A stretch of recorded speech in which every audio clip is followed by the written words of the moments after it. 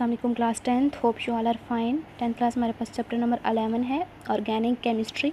तो इसके हमने जो टॉपिक पहले पढ़ा था, वो है सोर्सेज ऑफ़ ऑर्गेनिक कंपाउंड्स आज हमने जो टॉपिक पढ़ना है, वो है यूजेस ऑफ़ ऑर्गेनिक कंपाउंड्स के। ऑर्गेनिक कंपाउंड्स को हम कैसे और कहाँ कहाँ यूज़ कर सकते हैं?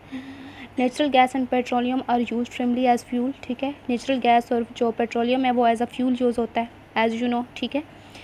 और नेक्स्ट हमारे पास है जी प्रोपेन है एंड ब्यूटेन है which are gases obtained from natural gas are widely available as liquid in fuel cylinders ठीक है? एलपीजी इनमें पाई जाती है प्रोपेन और butane ethylene is the major starting material for the manufacture of organic chemicals and production such as polyethylene ethyl alcohol acetic acid and ethylene glycol card antifreeze antifreeze antifreeze use होती है थाइलिन और उसके अलावा plastic की चीज़ें बनाने में अथाइल alcohol बनाने में, ठीक है?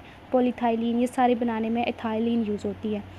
नेक्स्ट हमारे पास acetylene is widely use in oxy acetylene ठीक है? PVC polyvinyl chloride polyvinyl acetate ये सारी चीज़ें बनाने में यूज़ होती है एसिटाइलिन रबर वगैरह बनाने में नाइलॉन बनाने में यूज़ होती है। Acetylene is use for artificial repairing of fruits acetylene क्या होता है? आर्टिफिशियल रिपेयरिंग ऑफ़ फ्रूट्स यानी कि फ्रूट की प्रोडक्शन को इंक्रीज़ करवाने के लिए और इस तरह से हम आर्टिफिशली प्रोसेस जिस तरह से फ़ूड को रिपेयर करवाते हैं राइपनिंग करवाते हैं मतलब हम ये अगर राइपनिंग का मतलब होता है जल्दी से बड़ा हो जाना, ठीक है? जल्दी से अगर फ्रूट बहुत छोटा है, हमें चाहिए जल्दी के ये, हम चाहते हैं कि ये जल्दी बड़ा हो जाए।